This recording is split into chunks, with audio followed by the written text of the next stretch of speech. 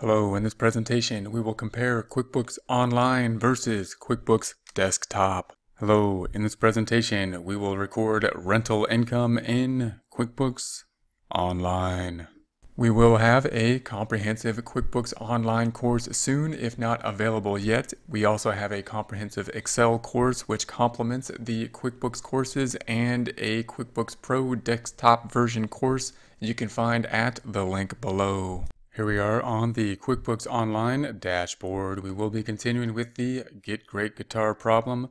We're going to be entering rental income, and to take a look at that, we're first going to look at the financial statements on the income statement or profit and loss. So we're going to scroll down here to the reports. Left side, we're going to go to the profit and loss section. And we're going to find, uh, we're going to have the dates to be the dates of 02, 01, 21, the month of February, 02, 28, 21, so we're going to be running this report. The, the year we're working is 2021, month of February, and run that report. So you'll note here that we have different formats of income. Now note that a lot of companies will only have one or two types of incomes because that's all they do. They do what they do, meaning if we sell stuff, that's probably our main part of income. We buy stuff and we sell stuff, and therefore we would have all of our income grouped into the sales product, sales of product type of income. On the other hand, a lot of companies do a lot of service only. So if we were a bookkeeper or a lawyer or something like that, then we would just group all of our income into the service type of income. Uh, we're going to add another group. And then, of course, we have a lot more expenses because we pay for everything else that we do typically. So the expenses typically will be outweigh, we'll have more account types of expenses, although we hope that the total of the expenses will be less than the total revenue that we generate. So there's going to be more groups of expenses, more types of expenses, than there will be groups or types of revenue, but typically we hope that the revenue in total will be larger. We're going to add another revenue type here, and that's going to be that the fact that we have the service revenue. That's going to be mainly our guitar service and our maintenance kind of stuff uh, that we have in terms of the service here. And we're also going to include rental income now. So we're going to say that we have rental equipment maybe amps or something like that, or guitars, or we're going to set up um, something, a stage for someone or something like that, and rent out some of our equipment. So we're going to add another income type of area specific to the renting of our music equipment. A couple ways we could do that. Uh, if we want to add a new category here, then uh, we could go to our accounts. We can go to my accounts over here and I'm sorry, go to accounting over here on the left, go to accounting and chart of accounts and add the new account here. And note that that account needs to be an income type of account. So if we scroll back down, remember that this is typically in order by account type, meaning assets, liabilities, equity, income, and expense, and more specifically assets of cash, then accounts receivable, then other current assets, then fixed assets, and then liabilities of accounts payable and here more liabilities down to equity and then finally the income. So when we set this up, we want to make sure it's an income type of account that we are going to set up. We're actually going to do this as we bill the client, as we collect the sales receipt. We'll set up a new account and we'll also do that by setting up a new item. So remember the inventory items are what are going to be on the sales receipt or invoice. So if we go up to the sales up top, and we go to products and services, we're going to say that these are our items. They could be service items like our guitar lessons, or they could be actually inventory items like the ELP. We're going to have rental uh, equipment, uh, renting music equipment as our service item now, which we could set up here as well as a new service item so that then it will pop up automatically or we can find it when we create a sales receipt or invoice to bill the client for the rental equipment that we're going to be uh, using. We're going to do that at the same point this time, however, and just create a sales receipt and create an account to record this to, as well as the item uh, that we're going to record this with as we create the sales receipt. So the scenario is that we have somebody who is uh, renting our equipment and we're going to uh, collect the money at the same point in time as we provide the service and therefore create a sales receipt As we create the sales receipt, however, we're going to have to set up this new thing that we haven't done before. That's going to be renting the equipment, meaning we need a new account, income account to record the equipment rental, and we need a new service item. So we'll do that at the same time. We're going to say the plus item up top, click this little plus. We've got customers on the left side. It's not going to be an invoice. We're going to say it's a sales receipt because we're getting paid at this point in time and we're really delivering the, the rental equipment at this point in time as well. So we're just going to put it into the sales the sales receipt, even though they haven't quite used the rental equipment yet. But it's close enough in the point in time. We're going to have that here. So then we're going to say that the if we select the drop down, it's going to be for music store stuff. So that's a reoccurring customer. So we're going to say music store stuff. If we tab through this, there's the billing. We're going to say that the date then is going to be the end of the month of February or 022821, February 28th, 2021. We don't really need an address here because it's not calculating the sales tax and sales tax uh, typically will will need an address in order to help that calculation. This is a service item and therefore shouldn't have any sales tax calculated for it. We're going to say that the type of payment is going to be cash and it's going to go into undeposited funds Remember that when we have the sales receipt, that in essence is what it means. It's going to say that cash is going to go up in some way. Cash in this case, the way being undeposited funds, not the checking account, because we're going to group it all together at the end of the month or the end of the day, and then uh, group them in accordance with the grouping we put into our system. And then we're going to have uh, the product or service, and this is where we're going to have the new product. We're going to type in here rent music equipment. Now this is a new product or service. If we were to select the drop-down, we're not going to see that product or service as, as if we if we select this drop-down, we see all this other uh, stuff, meaning guitars and our uh, rental equipment and our other uh, sales type items, service items, uh, such as guitar lessons. But we, this is a new one. We don't have that there. So we're going to set it up now. We're going to set this up. And it's not going to be an inventory item it's going to be a service type item. It's going to be the rental service, so we're not actually providing inventory and therefore don't have to deal with cost of goods sold or tracking that inventory. So that's nice. And we're going to say, there's that, there's the name. We're going to just scroll through this. It's going to be sales information. I'll put the same thing. We're going to say that the price, um, and the price may vary based on the type of, of um, rental equipment we have. And we might want to try to standardize that. We might want to say, hey, here's our package deal, which is what we're going to kind of say here.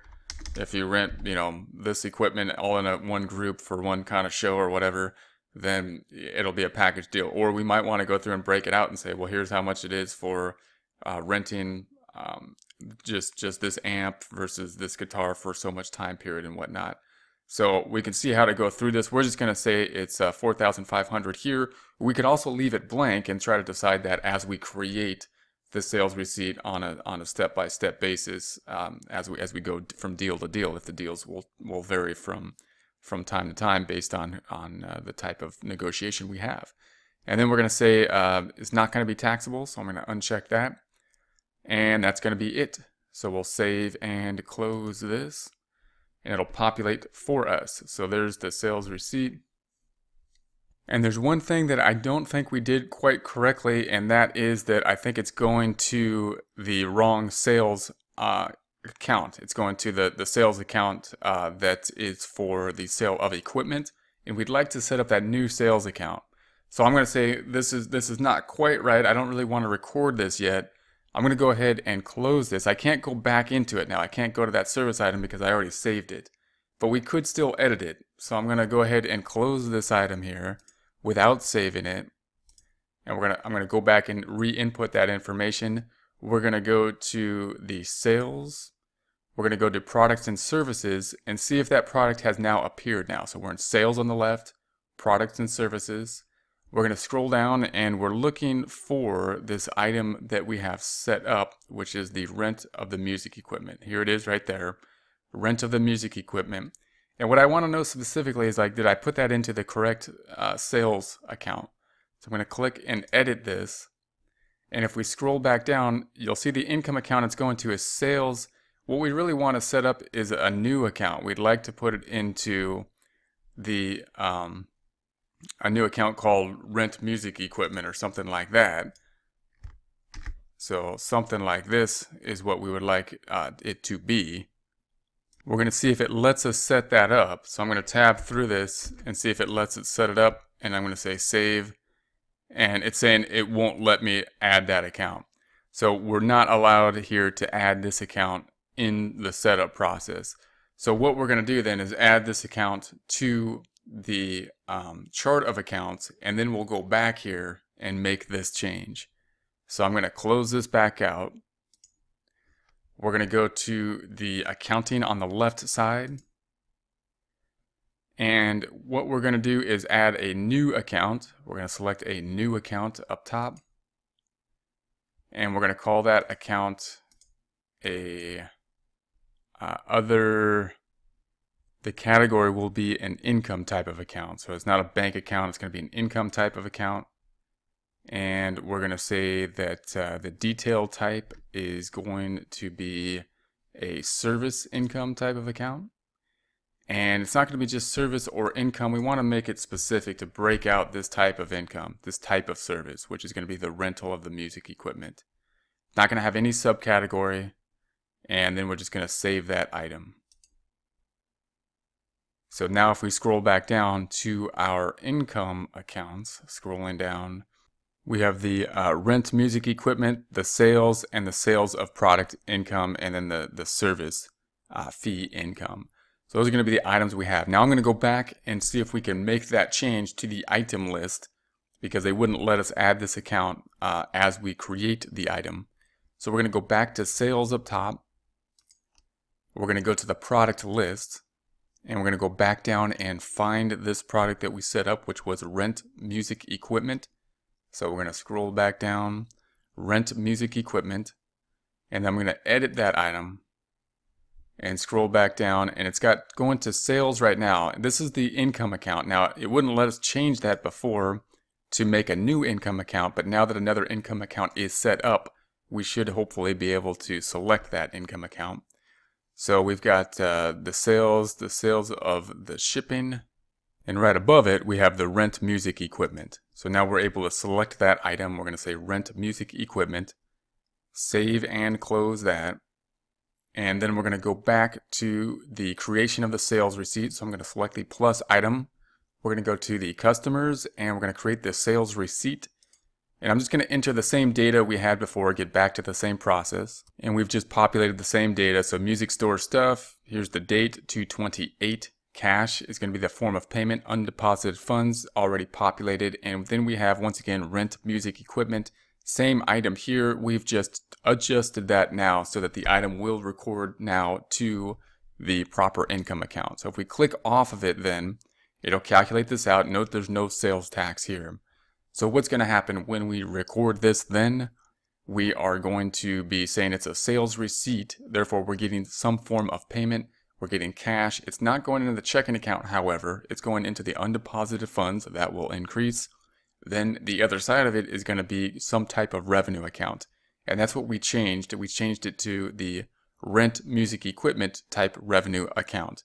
And that's driven by, of course, this service item. So that's kind of what the new thing was here we created a service, a new service item that's going to a new income account. And this 4,500 then will appear on the profit and loss in the new income account driven by the item here that we have set up.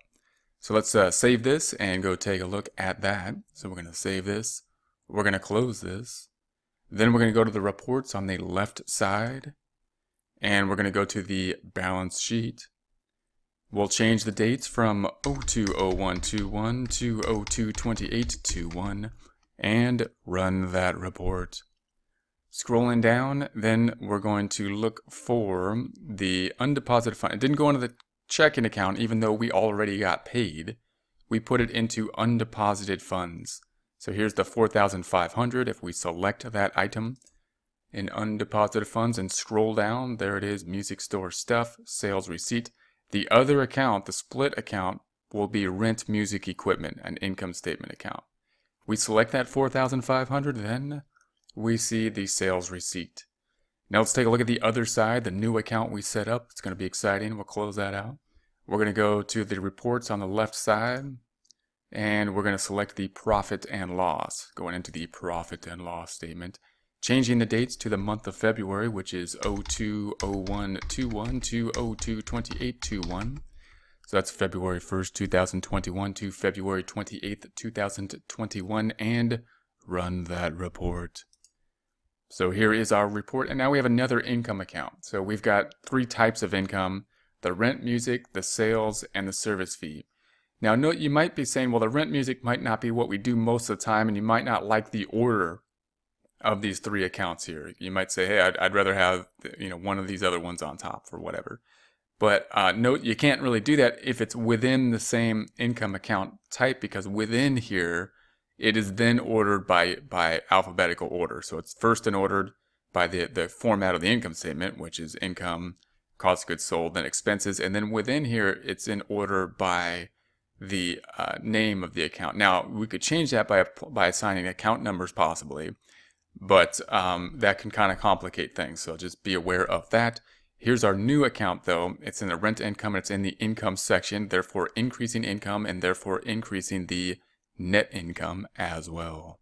If we select that rent music equipment, then we see our sales receipt here. If we select that sales receipt item, the split go on the other side, go into undeposited funds, by the way. And if we select that 4,500, then we see our sales receipt. Hello, in this presentation we will record rental income within QuickBooks Pro 2018. In so doing, we will set up a new account for rental income.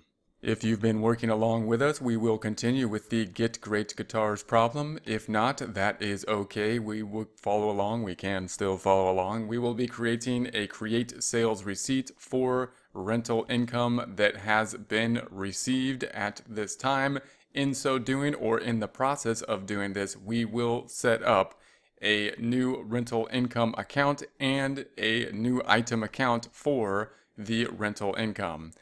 If you have the backup file up until this time, you want to hit the drop down and go to restore the backup and that'll take you to this, this point in time. If not, that's okay. You can follow along. If you do, that'd be great because we'll have the same data. If you've been following along with the problem, you should have the same data as well. We have the Open Windows tab open. In order to open the Open Windows tab, go to the View tab and Open Windows. We also have the company homepage open, which is at the company and home page. That's where we are at at this time. We're going to set up rental income. So first, I'm going to take a look at our income statement and see what we have so far, and then figure out what's the best process for us to record the receipt of income for rental income for renting, in our case, music equipment for this time period for this month. First, let's take a look at the income statement or the profit and loss as it's called within QuickBooks by going to Reports, Company and Financial. We're going to look at the profit and loss standard, changing the date range from 010121 to 123121. Here is our income statement. We have two types of income. We have merchandising sales. That's when we sell the actual merchandise, mainly guitars. We have the service items. That's going to be our service items, our maintenance items, and currently uh, lessons in terms of guitar lessons. Now we have rental income in terms of music equipment, renting out music equipment. We could put that into the same service area. It's not merchandising income. Or we could set up another account called something like rental income. If it's going to be part of our business often, then we want to put it up top in terms of rental income up in this line item. If it was something that we're only going to do from time to time, then we would have it down here in terms of rental income that we just so happen from time to time. We're going to be in the business, hopefully, of renting some of our equipment out. So we're going to include that up top in the rental income as another income uh, account.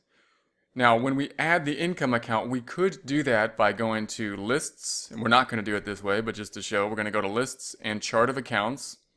This is our chart of accounts. We could add the new account by going to accounts at the bottom and add new. That's one way we can set this up. And when we set it up, we would then set it up as a revenue type account or an income type account here.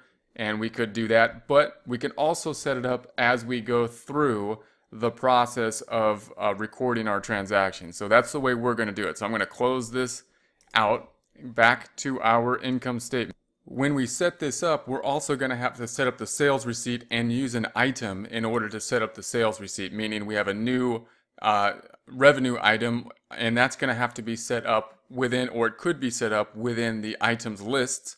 And that would be here, that item being rental, uh, rental income of some kind.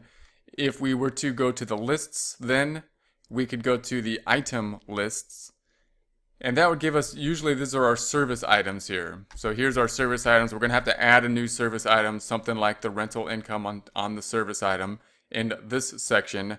Again, we're going to do that as we go, as we put in the data. So I'm going to close this back out. We're going to go back to the home tab and we're going to enter a create sales receipt for rental income for renting music equipment. We're going to go through our data here. First, we got the customer, and it came from Music Store Stuff is who we rented to. So Music Store Stuff. And I'm going to type that in, current customer, so it's going to pull up automatically. Tabbing through this, we're going to keep that template. We're going to say that we got paid already with a check, so we'll keep the check. We're going to put it in there as of uh, the end of the month, 228. Sales number will be the 6 again. The sold to should populate on its own. Check 6472, not our check number, that's the check that we received from Music Store Stuff. Then we're going to need a new item. So we're going to have to put in an item here. This is either the service items here or inventory items that we are selling. In this case, we have a new service item that we are selling. So we're going to type in, I'm going to call it an inventory count. We're going to call it rent on music equipment. Rent music equipment, we're going to say tab, and it's going to say QuickBooks did not find this equipment in your list. So do you want to set it up? Yes, we do. We want to set that up. And we're going to have it be called a service item. We're not selling the equipment this time. We're just renting it out. So we're going to say it's a service item. We're going to say the item number is here subscription uh, description is going to be the same. It's going to be rent music equipment.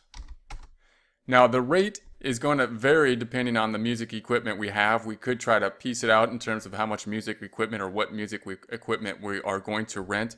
I'm going to put it in there at the current price we're going to charge 4500 That's something that we are is going to it's going to populate at 4500 It could vary depending on the contract that we uh, uh, set up for different music equipment rentals.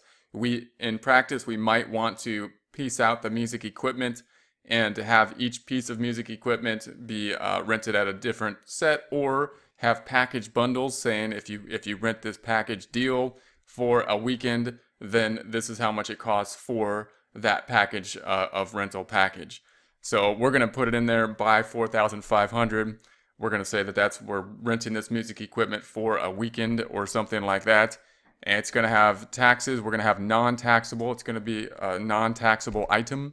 The account that it's going to go to, once again, an income statement account usually, and we could put it into services, but we're going to make a new one and we're going to call it the same rent music equipment.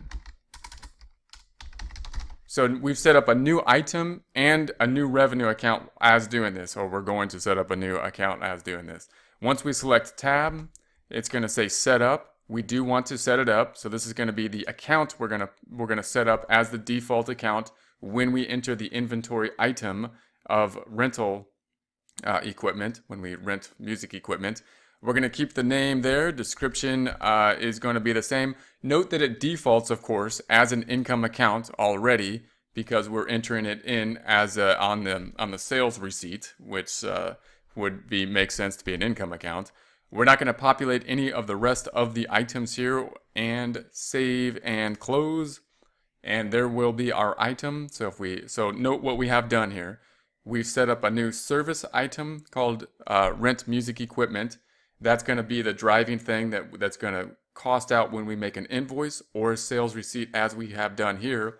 And we've created a new account called Rent Music Equipment, an income statement account, which will appear on the income statement as a separate service line item.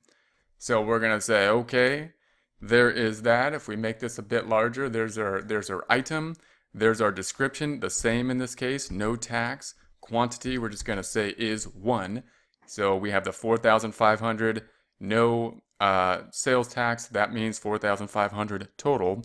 Nothing in terms of uh, inventory is being sold, and therefore the journal entry as we create this will just be an increase to the revenue and an increase to uh, the undeposited funds because we have not yet taken the funds to the bank. I'm going to go ahead and uncheck the print later item here. We're not going to print this item. And then we'll just say save and close, take a look at the income statement and the balance sheet and see if it has done what we believe it should do. So we're going to say save and close. If we then go, to, I'm going to first go to the balance sheet, go into reports, scrolling down company and financial, scrolling down to the balance sheet standard, changing the date range up top, customize report. Date range is going to be from 010121 January 1st, 2021 to 123121 December 31st, 2021. Okay, there we have our information. Now it didn't go into cash, even though we got a check. It's going into undeposited funds right there. There's our undeposited funds. Double clicking on that item, scrolling down, there it is. There's the 4,500. Double clicking on that, we then see our sales receipt. If we close this back up, close this back up, go to our profit and loss, which is going to refresh automatically since last time we had it open in the open items window. We now see a new income statement account. So we had merchandise income or sales before, we had uh, service before. Now we have rent music equipment. Note that within the income section, as we add a new account, it's going to be in alphabetical order. So it's not, it's, it's in order first by type of account, income before cost of goods sold. It's in order second by the order of the accounts because we didn't assign any account numbers to, to specify the order uh, in any other way than that. So note that within the account type, it'll be ordered by alphabetical order by default unless we have some other ordering system such as account numbers. And there's going to be our rent music equipment income account. If we double click on that, there is our rental. If we double click on that, there is our sales receipt. Closing this back out, closing this back out. That is what we have so far in terms of recording the rental income and adding the new account for rental income as well as the new item.